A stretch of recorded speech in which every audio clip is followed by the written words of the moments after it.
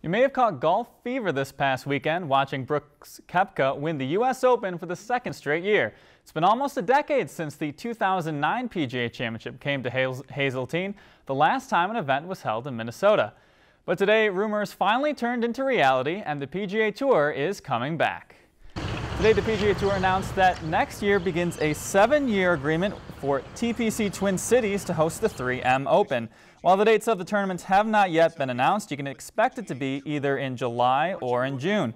The last time the PGA Tour made regular stops in Minnesota, 49 years ago, making the work needed to bring the tour back all the more worth it. You know, you felt like giving up, but you, you, you know, this the the place deserves it.